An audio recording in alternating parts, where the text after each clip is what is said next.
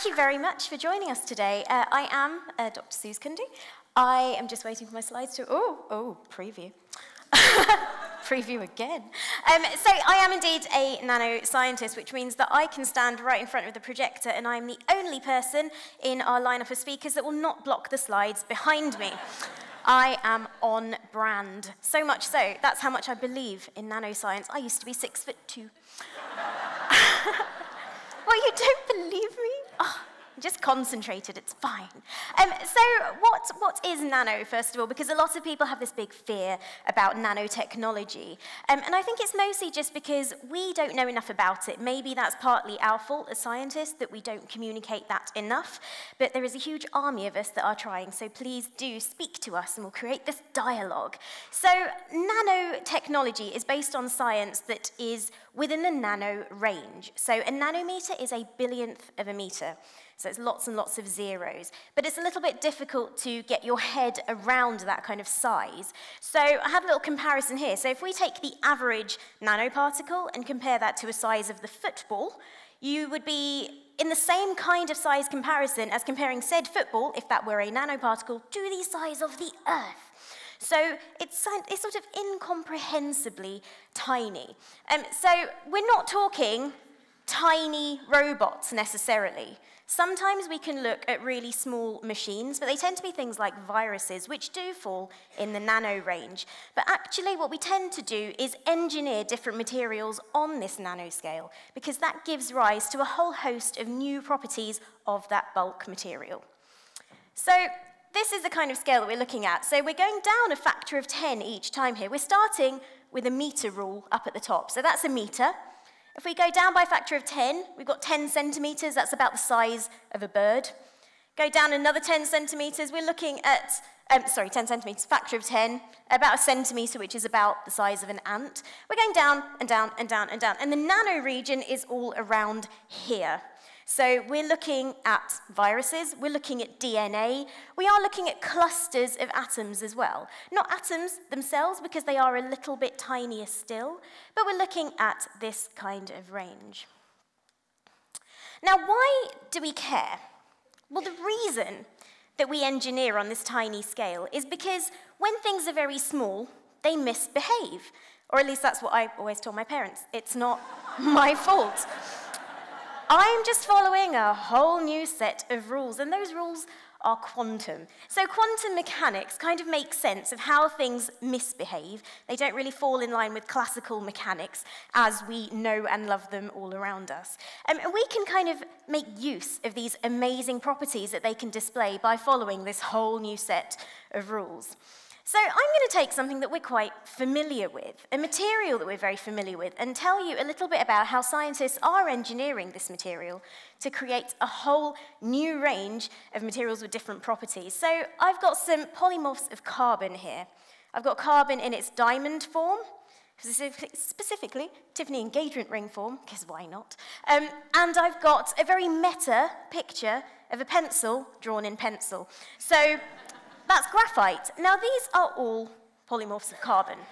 The only difference here is the arrangement of these carbon atoms. So in the graphite that we've got here in that pencil, the, uh, the carbon atoms in there are all holding hands with three other carbon atoms. Now, they kind of want to be as far apart from each other as possible. So they create these very flat sheets. And these sheets can run past one another, slide past one another, and that's how we can deposit some of that material onto a paper. It's an incredibly soft material. It's a kind of dull grey colour. Completely differently, we've got carbon. It's made of the same building blocks. But these building blocks are arranged slightly differently, so each of these is holding hands with four other carbon atoms. Now, again, they want to be as far apart from each other as possible, and so they create these sort of tetrahedral structures that all join up together to form this. It's a very sort of 3D rigid structure. And this is what gives rise to diamond's incredibly tough properties, the fact that light interacts with it quite differently, so it's very sparkly. It's a completely different material. So you would think that if we pitted these two up against one another in a fight, diamond would obviously win because it's really tough. But actually, the graphite holds a secret because we can isolate just one of these layers to get an entirely new material. And that is graphene. So graphene is a nano material. You can see there's lots and lots of carbon atoms joined up together, but because one of its dimensions is in the nano range, we can call it a nano material. So it is a material that only exists in two dimensions, because as soon as you have a second layer, that is technically no longer graphene. So that's quite cool. Now, it's a little bit tough to handle, but you can layer this stuff up, and you can create laminated sort of graphene, pyrolytic graphite. So if you were to get graphene, layer some of it up to about the thickness of cling film, it is so strong, sort of over 200 times stronger than steel, that it would be enough to support the weight of an elephant. Now, I was really lucky to be able to do that experiment a couple of years ago at the Royal Institution. This was Princess Fluffles making her scientific debut at the RI. She loved it. God, she hogged the stage. so this is graphene. Graphene is really strong, but it also has other amazing properties. Because of the fact that it is incredibly ordered, these flat sheets are very ordered, and they're not kind of holding hands with anyone either side, they can conduct heat and electricity incredibly efficiently along the plane. So you can get some of this stuff, this pyrolytic graphite, hold it against an ice cube, and it will start to melt through it like a hot knife through butter. Your fingertips will feel really cold, and that's because it's conducting the heat away from your fingers right to the edge of the ice where it just slots through. It is the weirdest feeling. Um, I think I have some in my handbag, so if we can get some ice um, at the end of the show, I will demo it. No, really, never look through my handbag. There was a blowtorch in there the other day. oh, you think I'm joking. so, with this graphene, then, we can start to wrap it around itself and create these sort of carbon nanotubes weave a few of them together, you can get carbon fiber. Cap the ends, and you're getting teeny tiny test tubes, so you can start to do chemistry on the nano scale. If you start to wrap them around the cells completely, you get these little football shapes. Now, they're not for the, you know, nanobot Champions League final, but they're really, really important materials. So that material over there is Buckminster fullerene. There are 60 carbon atoms in it, arranged very much like a football in hexagons and pentagons. Now, the great thing about this is that they can, they can be used for very targeted drug delivery. At the moment, we treat things like cancer with a kind of all over approach chemotherapy and radiotherapy. So, we are treating good cells as well as bad cells. Now, just to get to those bad cells, if we can start to encase the, med the medicine within these, put little markers on them, and send them into the body, so that when these markers reach the bad cells, they know to open up and deliver the drug exactly where it's needed. So this is all from carbon, one material, but by manipulating it on a nanoscale, we can do amazing things with it. So this is nanotechnology, and people think that nanotech is quite new. Well, it's not that new. One great science communicator, Richard Feynman, actually wrote a book about nanomaterials, tiny machines, he called them um, back in 1959, but they are even older than that. In fact, nanotechnology has been around forever. So the work that I am an expert in is an area called artificial photosynthesis. Plants have been doing this for billions of years. So plants capture sunlight energy and use it to make their own fuel in the form of glucose. Now, we don't want to make glucose, but what we do want to make is something quite different. So we use this system particularly a section from Photosystem 2, as inspiration of how we can solve the world's energy crisis, obviously.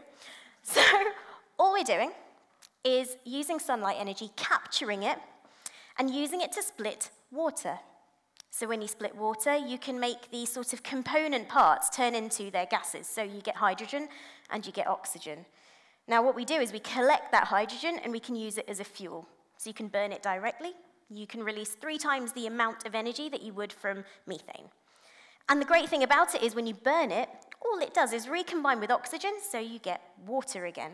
So it's really nice and sustainable. Now, it can't do it by itself, because otherwise you'd leave a glass of water out in the sunshine and come back 10 minutes later to a rather explosive mix of materials sat on top of it. So thankfully, it can't do it by itself, but we do use a middleman. So this is titanium dioxide. It's a really cheap material, but we use a really nano thin, about sort of 100, 200 nanometer thin film of it to capture that sunlight energy and push that onto those water molecules. So like I said, all you do is you get water at the end of it. It's a really nice, sustainable cycle. And the great thing about this is that it is a great way to use solar energy as a resource. We are looking at things like tidal energy and wind energy, but none of those are very reliable. However, even on the greyest of days, we are not sat in the dark here. We can guarantee that there is sunlight energy reaching us.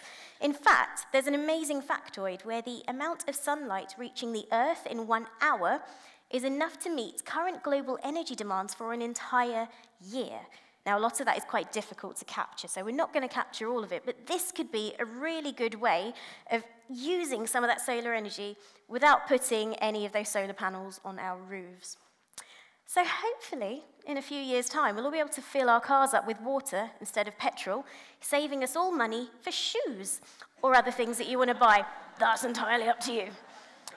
Might be shoes for me, though.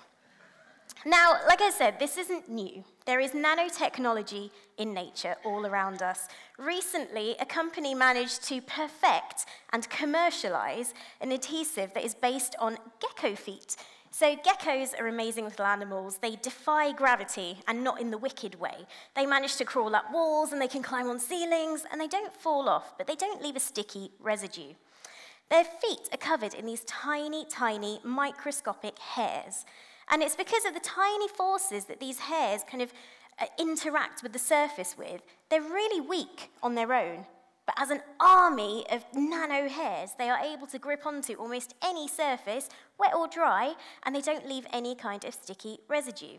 But that's not the only place we see them. You know, geckos are just one thing.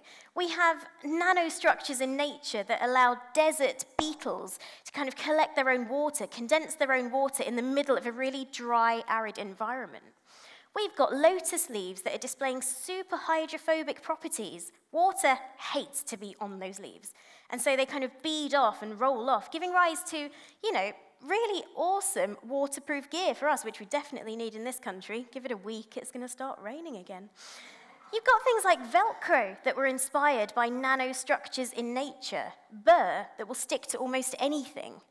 And you've got things like shark skin that are engineered in such a way by nature to cut through the water with really minimal drag. And we can use these things as inspiration for things as basic as swimsuits so, nanotechnology has filtered your lives in ways you probably don't realize, but hopefully will have more of an appreciation of when you leave here today. So, the reason that I love what I do is because I think it enables anyone to be a superhero. I love my superheroes. And through material science, you can become invisible. You can start to engineer on a nano scale to create materials that can bend light around you to make you invisible you can be super tough and powerful using things like artificial muscle based on some of the carbon fibers that we saw earlier. You can do all of these things through science and engineering. The reason that Tony Stark, or Iron Man, is my favorite superhero is because he wasn't bitten by a spider, he wasn't in a horrific accident. He got his superpowers because he was curious and he was a good scientist and a good engineer. So hopefully, through science and nanotech particularly, I am quite enjoying becoming a superhero. Hopefully, you guys will take that on board as well. Maybe you guys will also be superheroes if you are not already. Thank you so much. I hope you've had a great day. See you later.